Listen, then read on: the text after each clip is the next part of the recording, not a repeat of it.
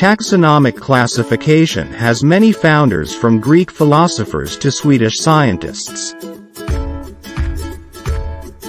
1. Aristotle. He is known as the father of science. He was the first to introduce two key concepts of taxonomy. Aristotle classified organisms on the basis of type and binomial definition.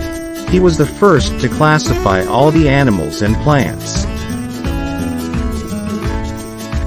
Aristotle wrote a book named Historia Animalium about animal classification. He grouped the animals on the basis of similarities. 2. Abu Usman Umar al-Jahiz. He studied internal organs by using slaughtered animals. Al-Jahiz studied pregnant animals by operations. He wrote a book, Kitab al-Haywan. He also described in detail the kinds and behavioral characteristics of animals.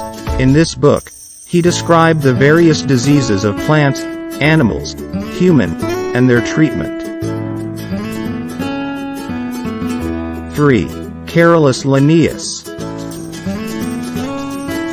He is considered the father of taxonomy.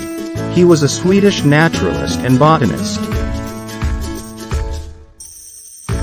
Linnaeus was the first to frame principles for defining natural genera and species. He also established a uniform system of nomenclature. 4. Ernst Haeckel He was a German embryologist. In 1886, Haeckel introduced a new kingdom called Protista. 5. Edouard Chatton He was a French biologist, in 1937, Eduard clarified the concept of eukaryotic and prokaryotic cells. He described the cellular characteristics of living organisms. Thanks for watching.